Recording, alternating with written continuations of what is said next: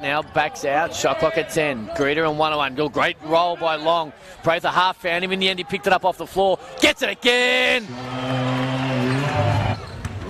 That seven point lead for Melbourne right now, looking to extend it. Long just shoots a three. Oh, wow.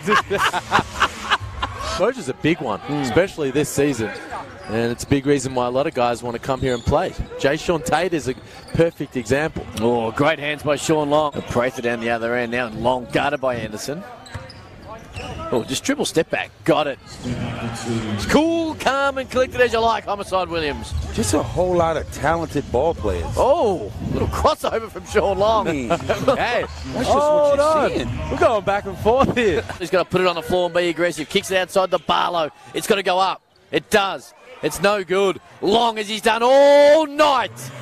Beasting. Puts it back up. Almost three and a half, starting to get away from them. Cool. Finds Long. And Mr. Double Double, who's lived up to his Twitter name today. Hands it off to Ili. Shot Not in down to foul seven. trouble. Not in foul trouble.